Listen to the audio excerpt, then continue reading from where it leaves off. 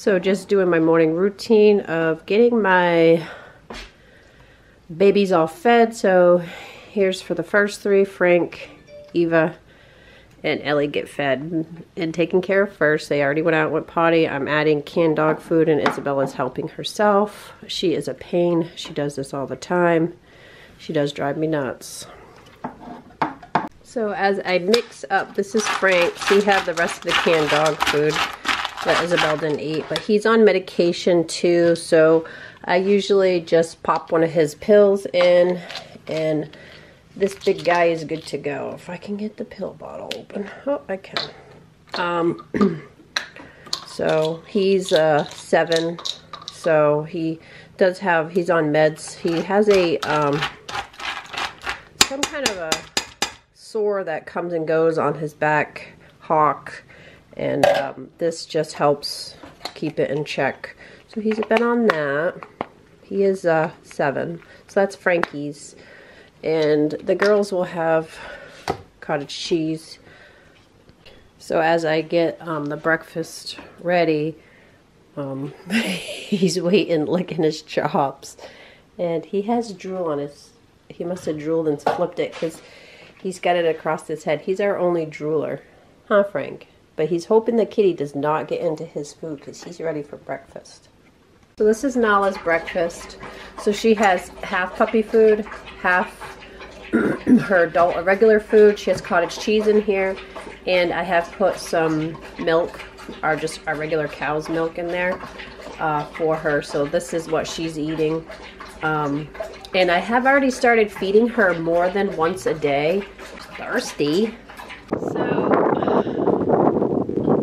so I have Nala outside right now. She goes out by herself now because uh, she is pregnant. And uh, the other two that she normally goes out with horse around. Diesel is very rough and um, she's pretty pregnant. Uh, she's over 30 days now. And I took a peek at her yesterday when I was checking out some of the other girls and she's pretty loaded. I, everywhere I see, I see sacs.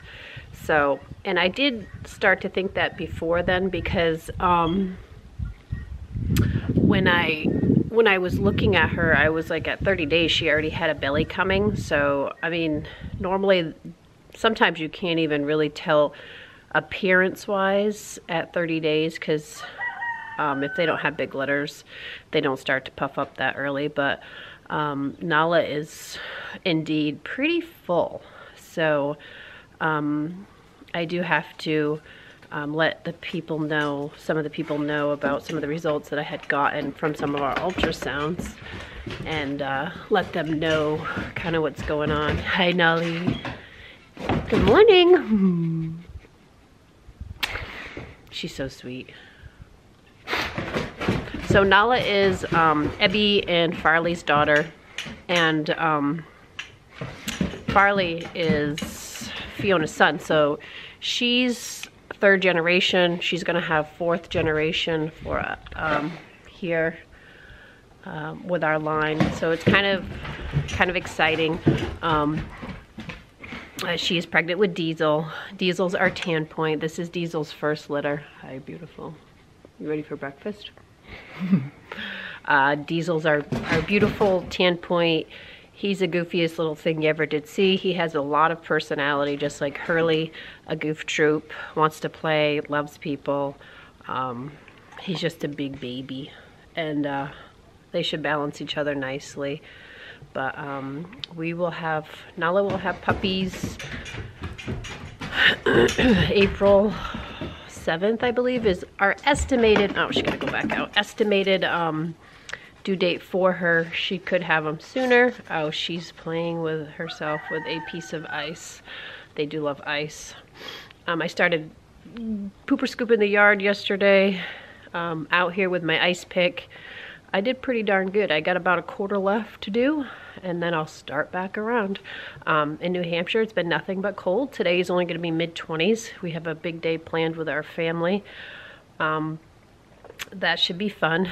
but uh, I am still waiting to confirm uh, Eva. I do have results for Magnolia. Um, But I'll wait until I contact families and on her waiting list and let them know before I announce too much. So Nala is anxiously waiting for her breakfast.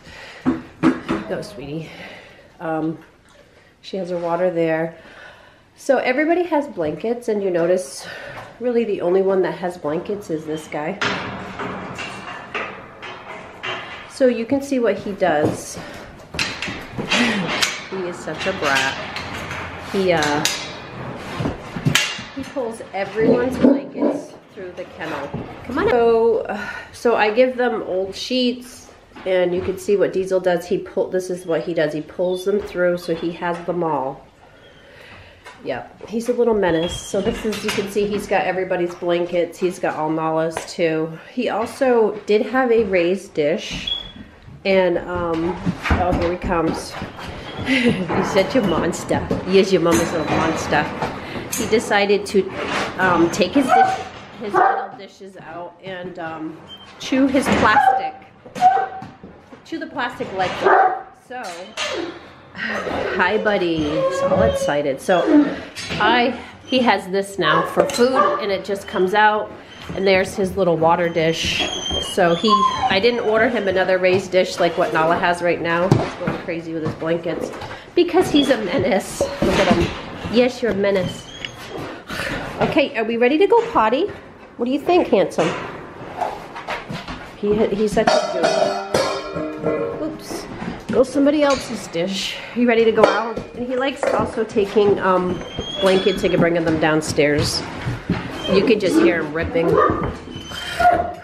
So when they get to the shredded that they are now. So these are the dishes that I got from Chewy. I originally bought these ones um, the little guys use them for their water. I mean, we fill them up like several times a day, so it's almost better to use a bigger one. But it is for food or water. It clips right to their crate, their kennel, whatever you want to call it. And these bowls just pop out. So you just, that part, that part stays with the kennel.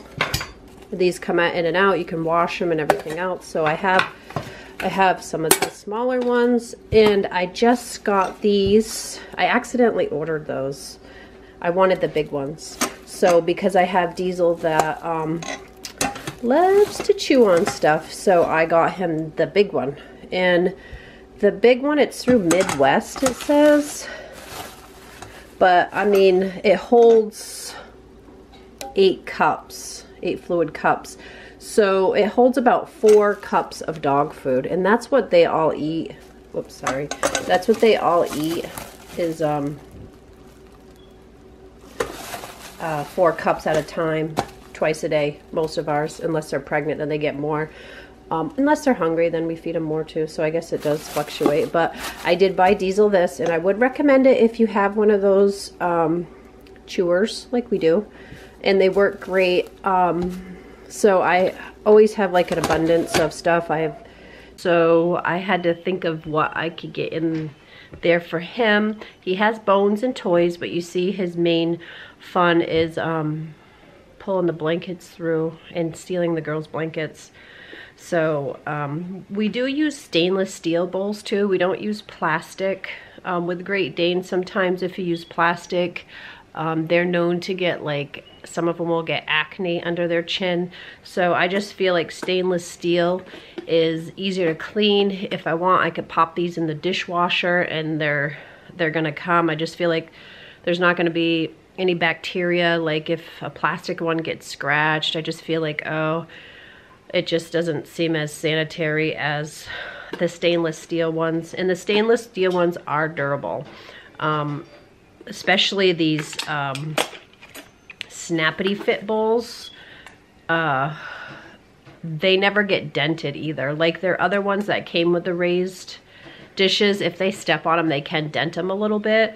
But these guys, they don't get dented. They are actually very heavy duty. I'm really impressed with these and they're not really that expensive.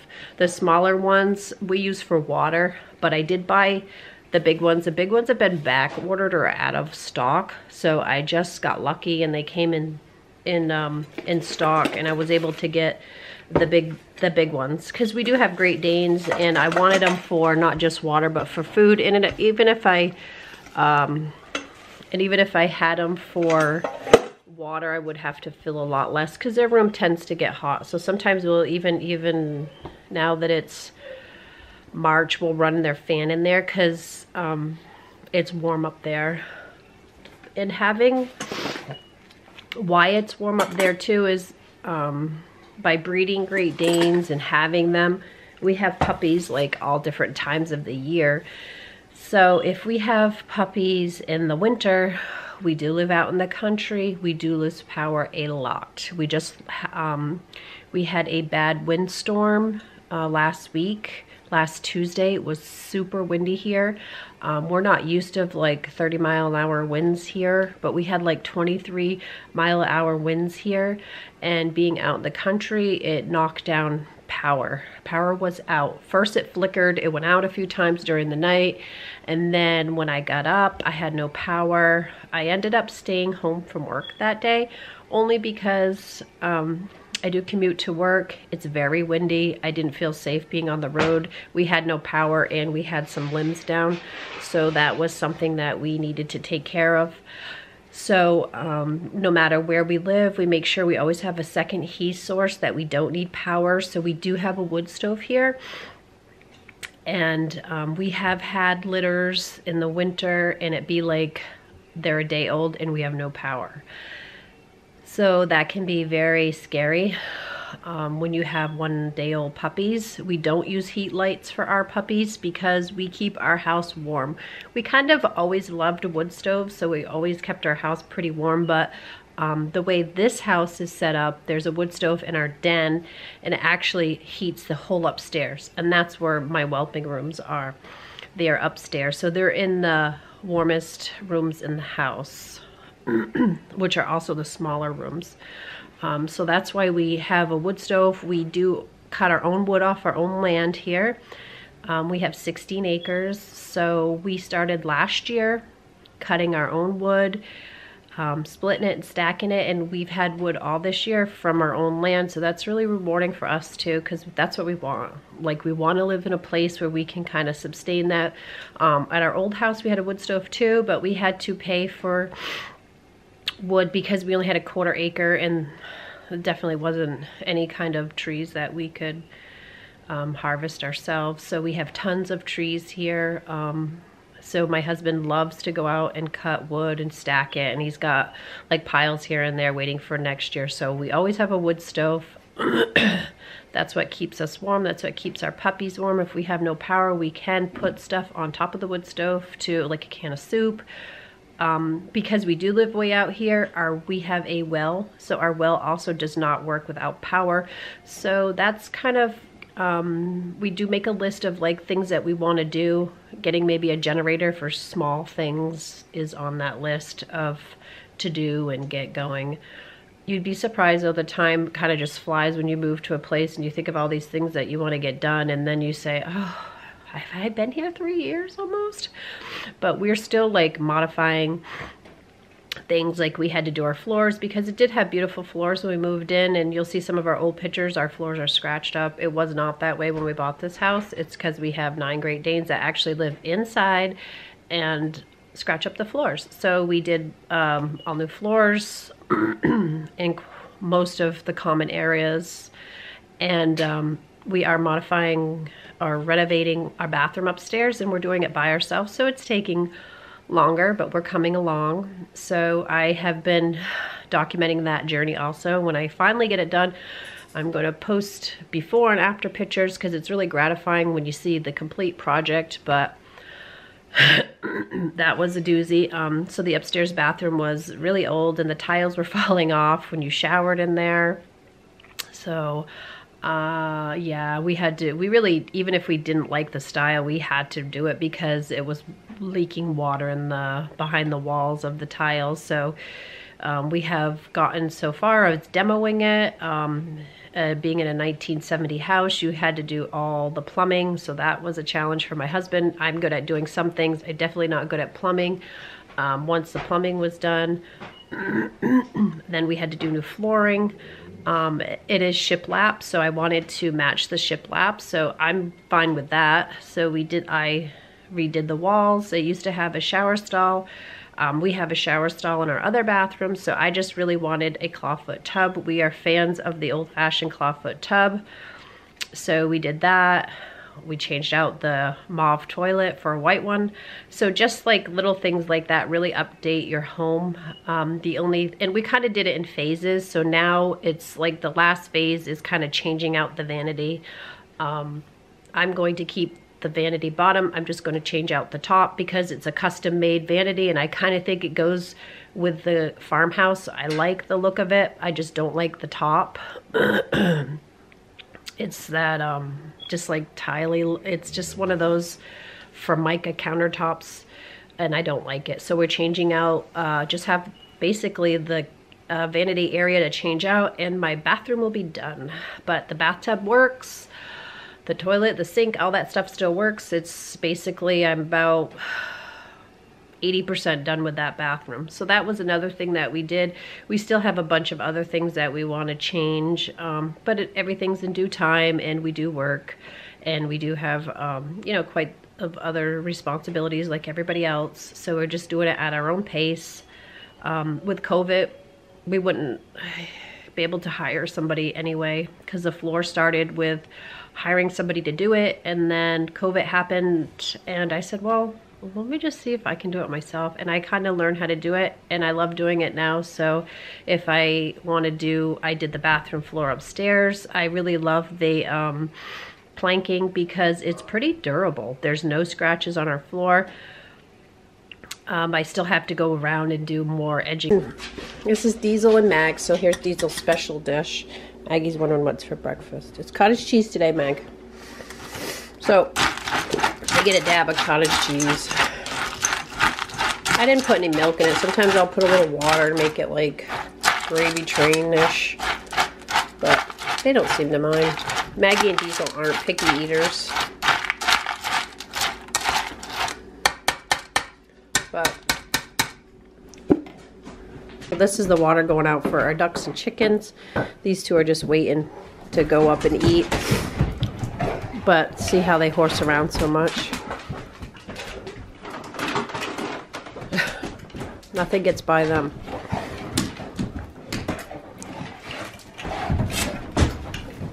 And this is why we go through a couch once a year. Ah, ah, ah, ah, buddy. He said, I'm dying to tear that up. Mom's watching though. You guys ready for breakfast? Little goons. So they come down, go potty, get the energy out, and then they go up and eat, and they'll take, they eat in their kennels, so it gives them downtime to relax after they eat.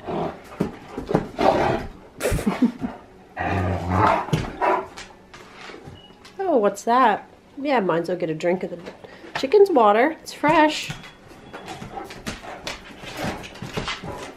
So I'm going to get these guys up and fed. Diesel, we don't chew on collars. That's why normally they don't have their collars on, but look at her. She's going to get them. So these are the last three that I have to feed. Fiona, Farley, and Ebby. Do you live here? What's the code? What's a passage? he said I live here. You can see our door gets scratched up quite a bit. Hi, buddy. Good morning. Got an itch? Goodness. Abigail already came in. Huh, Ebby? He's all out of breath. So he's the one I'm trying to slim down. Hot chubby. Ebby is our lean cuisine. Yes, you're a lean girl. All excited about I don't know what. What's he doing, Abigail? She loves to um, play with him and thrash on him. She actually can get the better of him. You got eye boogies today, Ebby. Hmm, she don't care. And it is always exciting to look at George's little activity thing here. So that's why you always see buckets in the videos.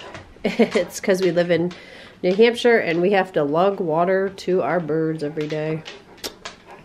Um, oh, I'm hot.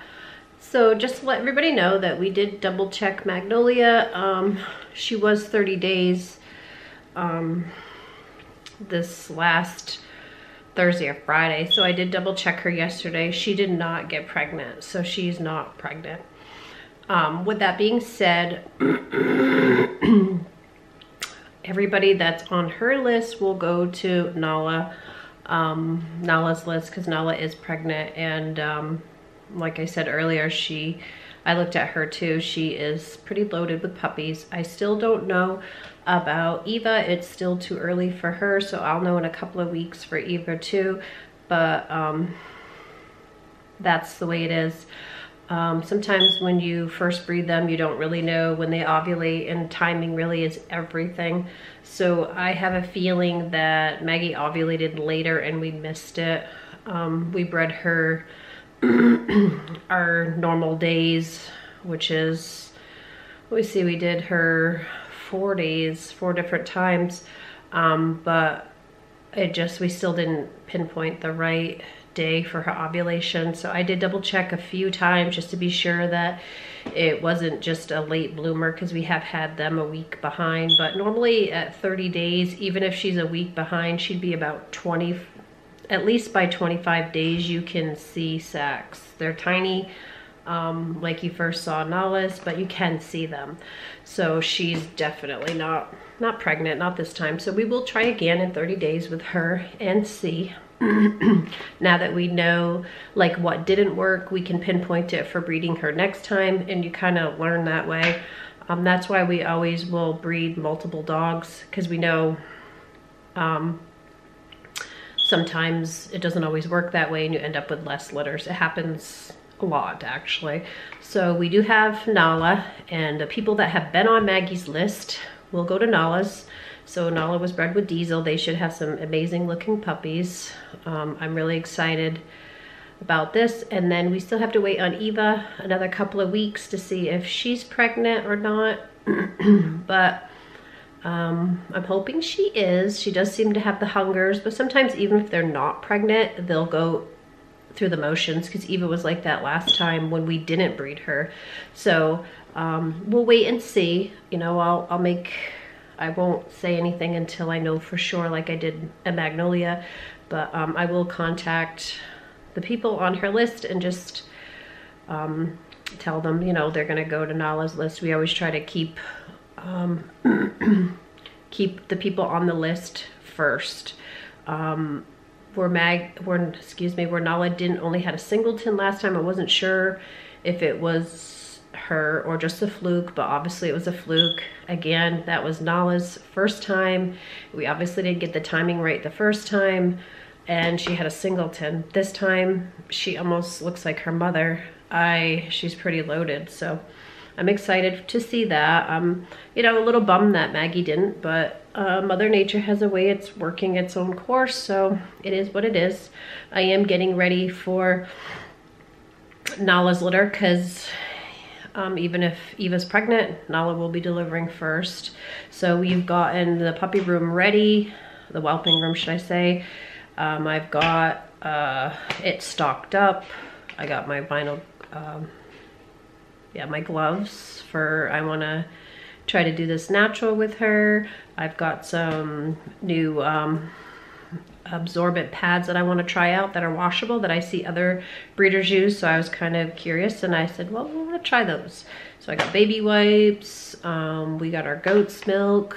Um, we buy that because um, we do supplement if it's a big litter or if when the puppies are get their teeth and they're ready to eat around three or four weeks. They do get um, a formula in with their food and we have our own like recipe that we use and we do use goat milk as one of the ingredients. So I picked that up when I picked up our dog food. So we're stocked up on our dog food. we just bought uh, probably like 30 bags of dog food. Um, our 20 bags that we rain checked finally came in. Plus we had been um, kind of storing or trying to go to the different tractor supplies to get it because there seemed to be a shortage and that's not what I want. I don't want to have to change the dog food and disrupt all their uh, bellies. So Nala has started her puppy food mix in with her dog food and is eating more meals. She's um, actually day 33 or 34 and she has a belly already so that's a really good sign. And when I looked yesterday she's really patient with me. Maggie you saw how she is. She hates it. Maggie's getting better though. Um, why we do um, ultrasound too is I do it more frequently so they get used to the machine just like cutting the nails. If you start young and keep cutting them, they'll get used to it. Just like baths, if you do it regularly, they'll be better with them. Same with an ultrasound machine. So when they see it, like Eva just kind of lays down. She doesn't even care. Um, Maggie's getting better. She's better than she was when I first started. So that's a good sign. Um, we do use the ultrasound for more than just seeing confirming pregnancies. It also, the reason why we really got our ultrasound is because um, Eva's litter, um, her first litter that she whelped normal with me. Um, she had X amount of puppies. We did an x-ray and they said, oh, there's either seven or eight. Well, she only delivered seven. So I was like, oh, they were pretty close. It was seven. So she had seven. Um, two days later, she passed number eight. So my husband was home. He called me, he's like, we got a dead puppy. And of course my heart was like, oh no thinking it was one of hers that we had delivered. But no, it was a, a big fawn puppy that she had retained and passed two days later. We got very lucky that she passed this puppy on her own. Um, she could have gone septic and died. She could have gone septic and her milk getting, you know, her milk could have got tainted and killed her rest of her litter. So after that point, I invested in an ultrasound. So when they're done whelping, I take out the ultrasound and I check their, be their bellies for any more skeletons. Um, you, she just shut down. She was like done. So I didn't, I mean, Eva's kind of a thick girl, so I didn't think that there was another puppy. Plus the vets, the reproductive vet said seven or eight. So I'm like, oh, they were seven, they're seven. so that's why we ultrasound after to make sure there's no remainders. If I had known, I could have brought her into the vet, get a shot of oxytocin, and that puppy could have been passed probably alive. He was a, I believe it was a boy. He was a big boy too. He's very, um, she has beautiful puppies. So it was, a, you know, I was just um, so relieved that um, Eva was fine. So we do that every time now if we whelp at home. And it's always our goal to whelp at home. Um, I am going to try to whelp Nala at home. I want these to she, her to know that these are her babies. When she had her singleton, she didn't know it was her baby.